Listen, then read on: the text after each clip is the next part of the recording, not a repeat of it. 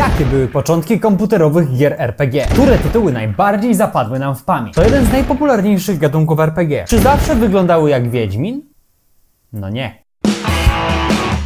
Dzisiejszy materiał jest początkiem miesiąca RPG. W przyszłym tygodniu zajmiemy się historią Pirania Bytes. To ci od Gotika. Więc zostaw suba, by nie przegapić, a ja lecę do materiału. RPG, czyli Role Playing Game, wywodzi się z gier narracyjnych, takich jak m.in. Dungeons and Dragons albo Warhammer. Ich rozwiązania wpłynęły na to, jak się kształtowały komputerowe gry RPG na przestrzeni lat. Te rozwiązania wyróżniały je na tle popularnych w tamtym czasie chociażby platformówek i wszelakich gier zręcznościowych. Z czym Ci się kojarzą gry RPG? Tworzenie postaci, rozwijanie umiejętności, eksploracja świata, zadania, walka z przeciwnikami. Te rozwiązania zostały przeniesione do wirtualnej formy na komputery.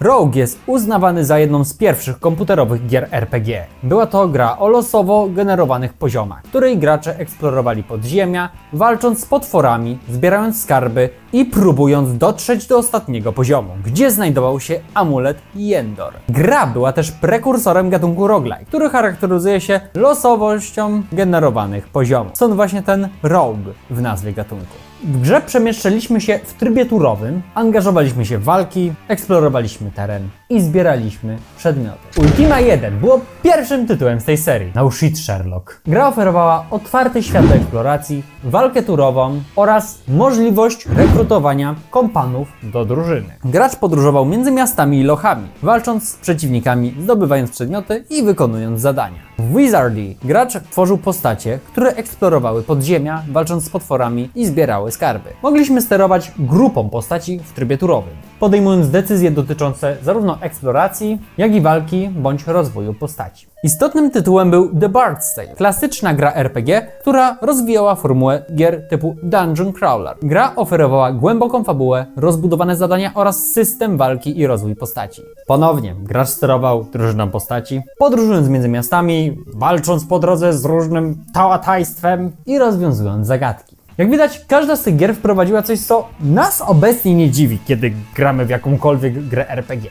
Nawet jeżeli te już nie są turowe. Tworzenie postaci, zarówno pod kątem wizualnym, jak i pod kątem umiejętności tej postaci, to jaka ona jest, czy jest powiedzmy barbarzyńcą, czy jest na przykład jakimś tankiem, czy jest jakimś piromantą, który zaraz wszystko spali. Rozwój tej postaci poprzez zdobywanie expa, pokonywanie przeciwników, ulepszanie swojego ekwipunku, czy to przez ograbienie już nieżyjącego przeciwnika, czy to poprzez kupowanie lepszego sprzętu kupców. Też eksploracja, którą możemy już dzisiaj znaleźć nie tylko w grach RPG. Liczne lokacje do odkrycia, zwiedzenia. Wtedy ze względu na sprzęt te gry używały walki turowej. RPG z tamtych czasów mogą dzisiaj budzić takie zastanowienie, czy to dalej są RPG, czy może bardziej gry turowe, bo w końcu w takich Heroesach chociażby też mieliśmy rozwój bohatera, mieliśmy walkę turową, a także w wypadku trybu fabularnego różne zadania, zarówno te główne, jak i poboczne. Czy w takim razie tamte RPG są dzisiaj turówkami? No nie. W RPGach najważniejsze są wybory, odgrywanie jakiejś roli w świecie gry.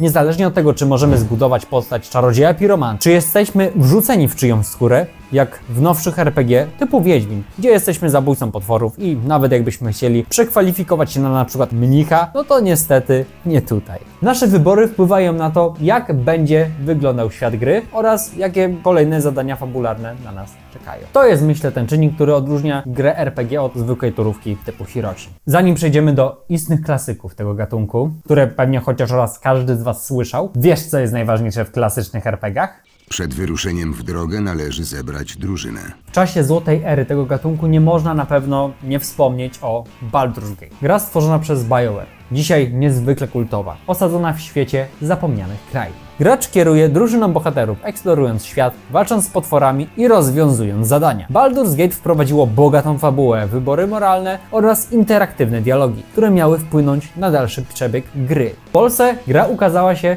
dzięki profesjonalnemu spolszczeniu, wydanemu wtedy jeszcze przez raczkujące studio CD Projekt, do którego dubbingu zatrudniono takie gwiazdy jak chociażby Piotr Frączewski. Inną perełką jest Placement Torment, nietypowa gra RPG osadzona w surrealistycznym świecie Planetscape.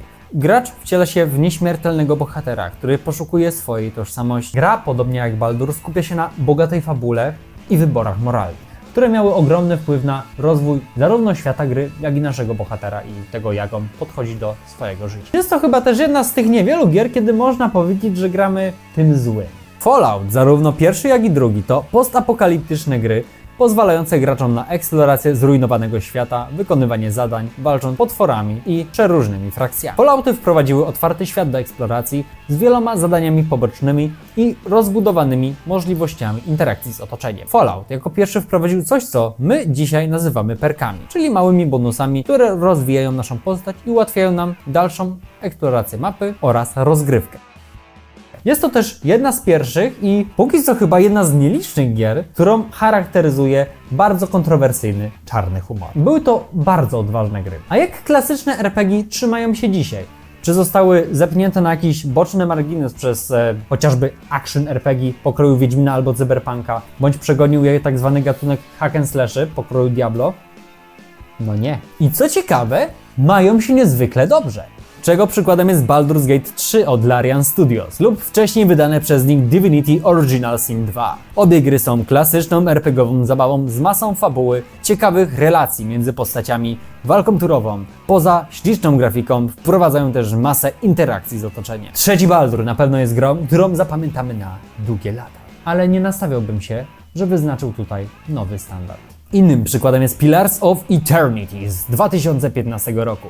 Inspirowana klasykami gatunku, takimi jak Baldur's Gate, gracz steruje drużyną bohaterów, eksplorując świat, walcząc z potworami i podejmując decyzje, które wpływają na rozwój fabuły. Ciekawie w tym zestawieniu wypada South Park The Stick of Truth. Gra osadzona w świecie popularnego serialu animowanego. Gracz wciela się w rolę nowego mieszkańca miasteczka, który dołącza do dzieciaków w epickiej przygodzie fantazy. Gra łączy humor z elementami tradycyjnej gry fabularnej. Ma też masę z jednej strony chorych, ale z drugiej zajebistych i niezwykle odważnych pomysłów. Takich jak na przykład walka z martwymi płodami w szpitalu. Weź tutaj teraz rozmawiaj, że gry nie są jakimś po prostu pomiotem szatana czy coś tego typu. South Park wprowadza charakterną dla klasycznych RPGów walkę turową, co rozwinięto również przy okazji kontynuacji Fracture But Whole. Warto też wspomnieć o Tyranny, grze osadzonej w mrocznym, podbitym tyranią świecie fantazy.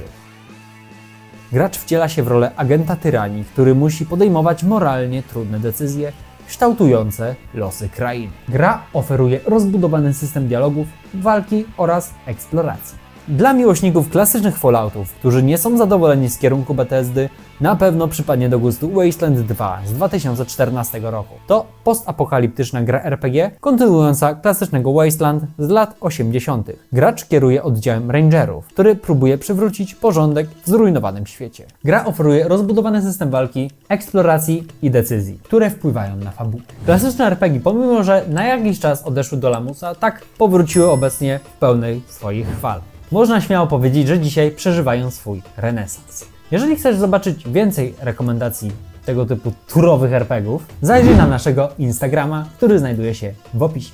Pamiętaj, za tydzień przyjrzymy się historii twórców Gotika, Rizena oraz Alexa, więc liczę na Twoją obecność. Tyle ode mnie, widzimy się już niedługo w kolejnych odcinkach. Do zobaczenia.